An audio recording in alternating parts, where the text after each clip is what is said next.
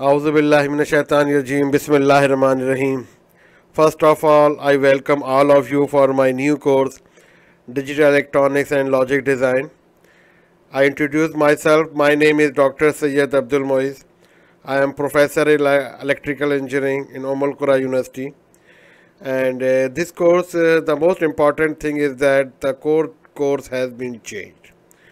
Before this, uh, the course uh, is a three credit hour course and now digital electronics and logic design is a four credit hour course.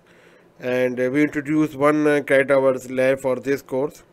And this course is being offered from electrical engineering college of engineering and islamic architecture Qura University. The prerequisite of this course is circuit analysis 1 8021010 i hope all of you have already passed this course. And uh, in this course uh, we will give three credit hours uh, course uh, class for each week and uh, one credit hour lab for each week.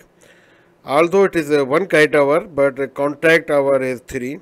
So total uh, 42 hours will be covered in uh, lectures and uh, 39 hours will be covered in laboratory for this course.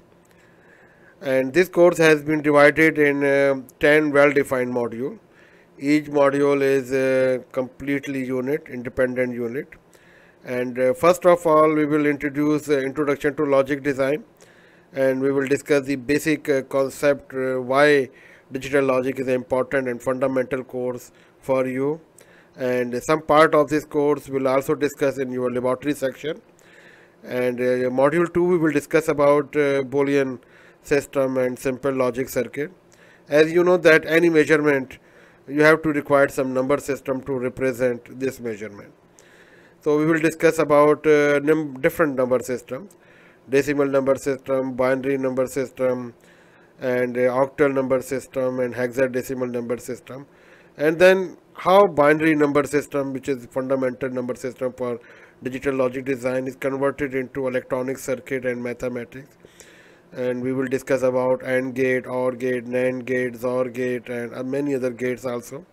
And similarly, we will uh, discuss about uh, module 3 Boolean algebra and uh, we will use this Boolean algebra to minimize the number of uh, gates for a given uh, digital logic circuit. As a reduction of gate not only reduce the cost of the circuit, but it also reduce the uh, you can say that it increases the speed or reduce the delay uh, for uh, logic circuits. Then we studied four module in module 4 Karnaugh mapping. Karnaugh mapping is one of very versatile technique and we will discuss very comprehensive uh, this um, technique because it is the fundamental we will use for sequential circuit also and then module 5 we will discuss about uh, multi-level NAND gate and NOR gate. Both NAND gate and NOR gate are considered as a universal gate. Modern logic um, design depends on all circuit either in term of NAND gate and NOR gate. They offer many advantages and some advantages we will discuss in this course but most of these advantage you will uh, discuss in uh, digital electronic course.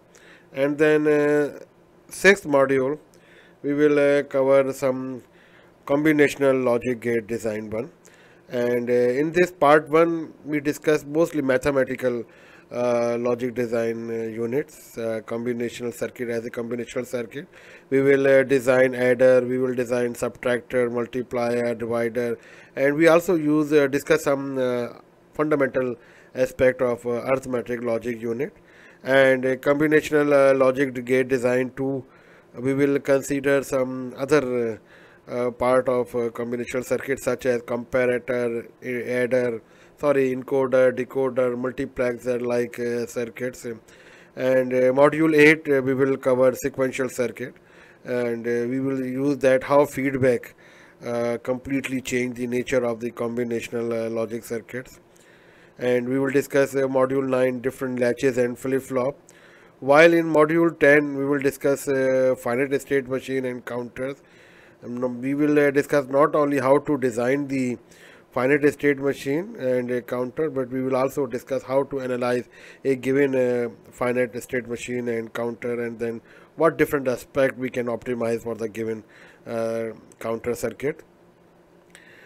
Many books are available for uh, digital logic design and uh, I have selected uh, Morris Mano, Michael D. Ciletti and uh, we will discuss uh, we will use uh, fifth edition although sixth edition maybe seventh edition available in the market i don't know. I did not see the seventh edition. But actually fifth edition and sixth edition there is no so such big difference. So you can purchase anyone if you want. And uh, this book is also available in our li library. So you can also use from uh, library here so why we select this book? Uh, one reason is that this book is excellently written. Very clear, very concise and very precise. Clear, concise and precise. So, and another reason is that 99% uh, of our course is covered by this book. So that's why we will use very religiously uh, for our uh, this course. And I, I will uh, see you in for the next lecture. Thank you.